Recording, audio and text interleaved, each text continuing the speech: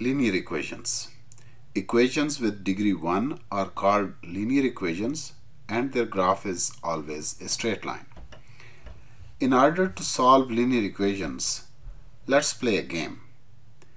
Uh, in this game, the rules are that you are going to keep your finger on the mouse so that after every step you can stop the video and figure out what the step says and when you are ready then you will go to the next step until you get to the last step in this game and then we will go ahead and find out what the answer is. So the step one you can think of a number below 10. Ready? Okay, number two. Now whatever number you have thought you can double that number. Done? Okay, once you have doubled the number, whatever result you have got, you can add 6 to that number. Okay, ready? Okay, now let's go to the next step.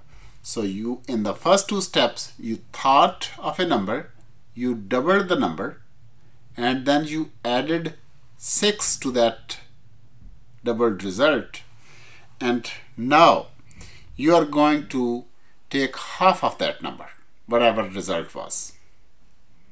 Got it? All right. Let's go to the next step then.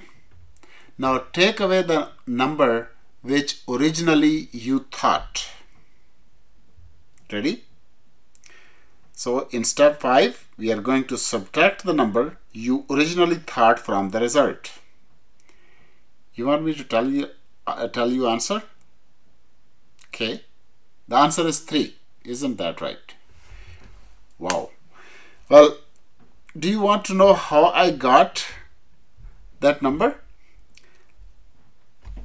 Here is how I figured out what number originally you thought. Let's say that you thought of an unknown number x. We know that this x is less than 10 but I don't know so I just assumed that this number let me call it x. Then you doubled it. So this is step 2 so in step 2 you doubled the number. So this was step 1 and now after you doubled the number you went to step 3 and you added whatever the result you had like 2x and then add 6 so this is step 3 and then I said take half of the result.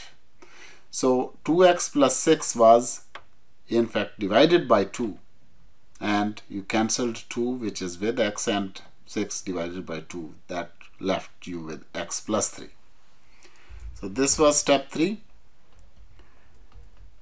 step and this is now step 4 and when I said subtract the number you took away the x from it. What is left? That's 3 isn't that great? So this is step 5 and you can do this trick with anyone you like and you will always have 3 as the answer. But this is a good starting point.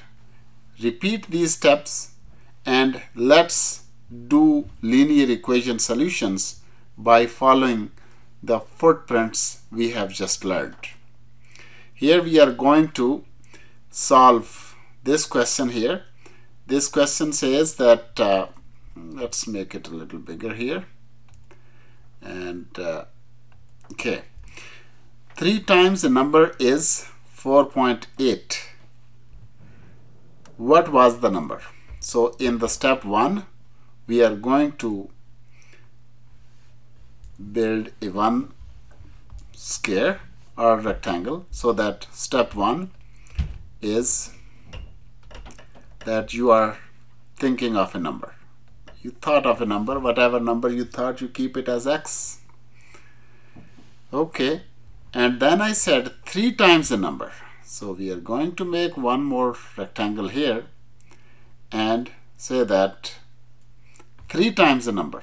So you got x and now you timed it with 3 3 times times 3 so you got 3x but what is inverse operation of 3 like what is opposite of 3 if you are multiplying with 3 the inverse operation of 3 is dividing it with 3 so if you want to reverse the operation then this would be like dividing with 3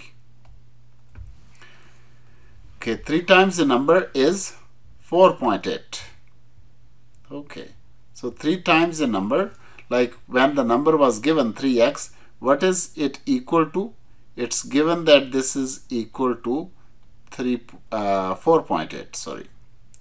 4.8 now when we divide 4.8 with this reverse operation we should get the number whatever the number was.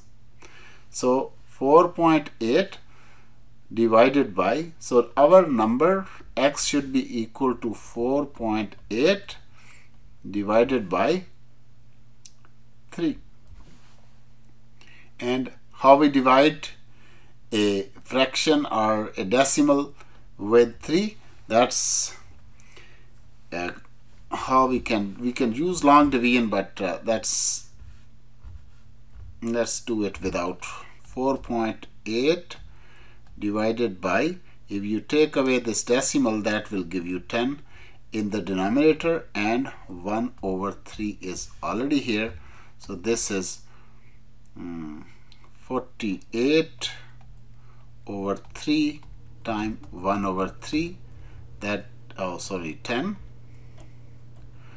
this is equal to 3 16 times is 16 times 1 over 10 that is 1.6 again.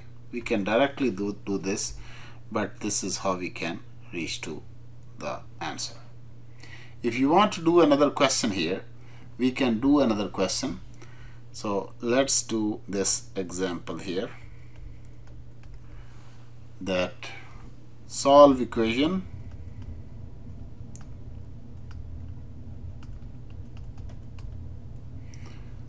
Four point five D minus three point two is equal to minus 18.5 so let's get started here. Think of a number. And here think of that number is now named as D. So here is the number which is D.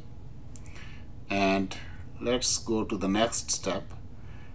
And here what we have done here we have to multiply it with 4.5 so time it with 4.5 and what is the reverse operation of this? The reverse operation is dividing it with 4.5 and then there is one more step here.